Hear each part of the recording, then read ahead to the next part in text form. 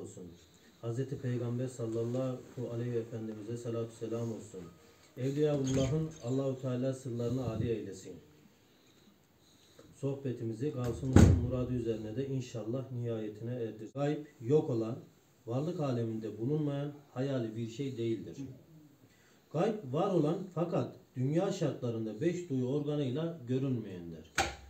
Örnek vermek gerekirse gözümüzün belli bir görme mesafesi vardır. Bunun üstünü ilerisini göremez. Kulağımızın belli bir mesafeyi duyma şekli vardır. Onun ilerisini duyamaz.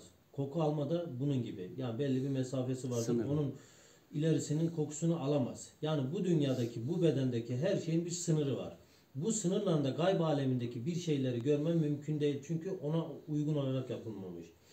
Hz. Musa Allahu Teala ile Tur Dağı'nda konuşurken Allahu Teala bir an sekir haline geldi.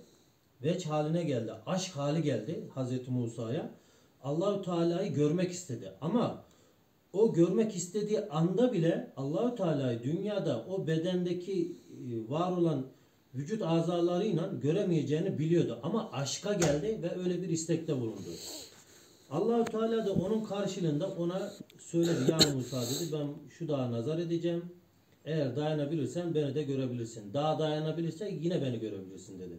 Ve Allahu Teala dağa nazar etti. Dağ paramparça oldu. Ve o an Hazreti Cebrail Hazreti Musa'nın etrafını sardı ki Hazreti Musa bir korudu yani ona bir şey olmasın diye. Çünkü bir dağ paramparça oldu. Öyle bir ortamı düşünün. Yani Hazreti Cebrail Hazreti Musa'yı korumasaydı sıkıntılar olabilirdi. Ve zaten Hazreti Musa orada bayıldı kaldı.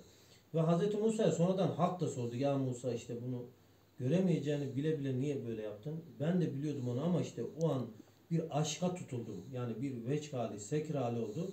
İstedim yoksa ben de biliyordum dedi.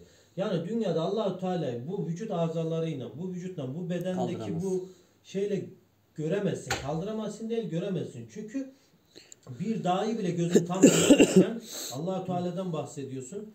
Her şey onun yanında toz tanesi görmen namümkün.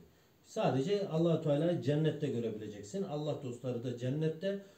Cenneti o yüzden istiyorlar. Yani cenneti cennet olduğu için değil de Cemalullah'ı orada görebilmek için istiyorlar. Sevgi. Cennette olmayı.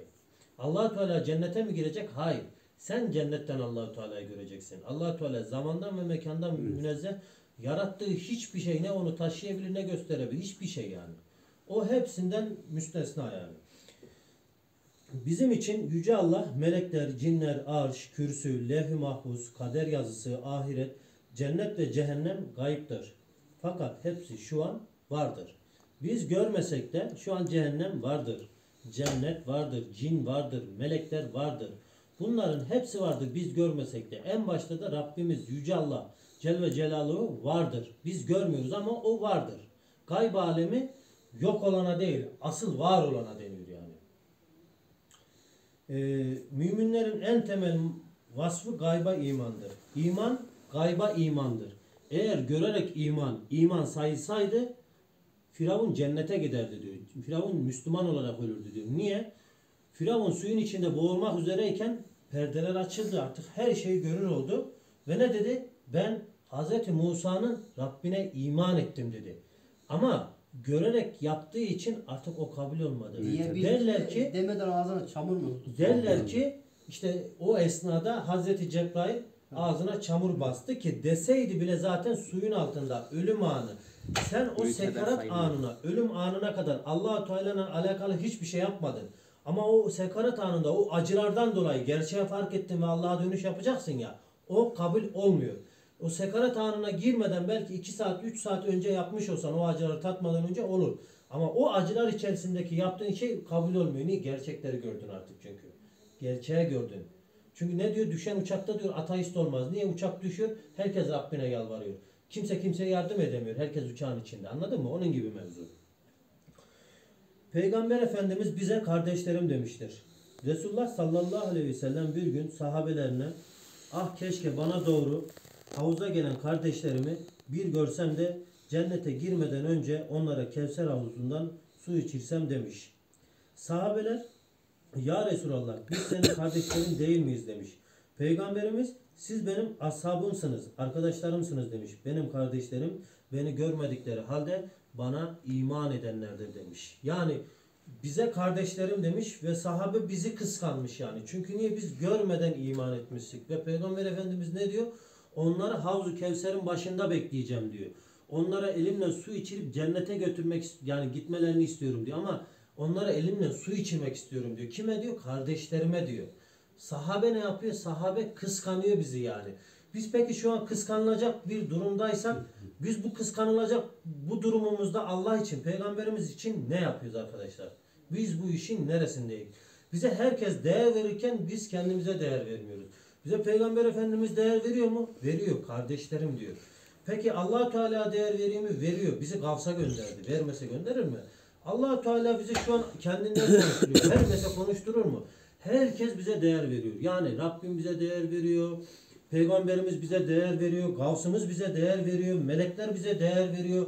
Yani hayvanlar bize değer veriyor. Dağlar taşlar bize değer veriyor. Havadaki yağmur, su, kar tanesi bize değer veriyor. Yeryüzüne iniyor, su oluyor. Yani bizim için dünyadaki her şey temin ediliyor. Her şey hizmet ediliyor. Dediğimiz gibi mesela bir ağaç elma veriyor. Fukaranın verdiği elmadan haberi yok. Yani kendine bir faydası yok. Veriyor ama yemiyor, içmiyor, bir şey yapmıyor. Elma orada mis gibi parıl parıl duruyor. Kime veriyor onu? Sana veriyor, sana. Peki bunu sana veriyor da kendine bir faydası var mı? Yok. Niye? Ne için var o ağaç? Sana hizmet etmek için var. Kim verdi onu? allah Teala verdi. Peki allah Teala'nın sana değer verdiğini anlamak için çok uzaklara gitmek gerekiyor mu? Gerekmiyor. Niye? Bir ağaçtan bile allah Teala'nın sana verdiği değeri görebilirsin. Yani yürüdüğün toprakta, gezdiğin ormanlarda, gittiğin denizde allah Teala'nın sana verdiği değeri görebilirsin. Senin için koskoca bir güneş yaratmış. Sen o güneşin yanında bilim adamları der ki güneş şöyle büyük, böyle büyük, dünya yanında şöyle küçük kalıyor der. E sen onun yanında ne kalıyorsun? Hiçbir şey. Ama Hazreti Ömer kapısının önüne oturmuş. O halifeyken, kralken, kaç tane ülkeyi fethetmişken üstündeki elbiseyi çıkartmış ve üstündeki elbisesinde tam 45 tane yamark var. Ve o zen, o krallıkla bile istesen kralını alır ama onlar ona e, sevgi duymamışlar. Güneşe vermiş sırtını Mekke veya Medine Sofim. Düşün sıcak nasıl? Güneşe sırtını vermiş, elbisesini dokurken güneş sırtını yapmış Hazreti Ömer'in. Hazreti Ömer de o sinirle elinde inle yamalık yaptığı elbise elinde güneşe şöyle bir dönmüş bakmış abi sinirli bir şekilde.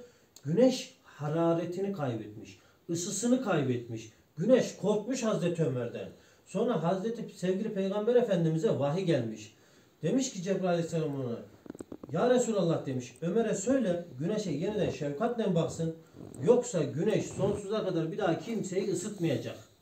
Sevgili Peygamber Efendimiz Ömer Hazreti Ömer'in yanına gitmiş ve demiş ya Ömer güneşe şefkatle bak durum böyle böyle.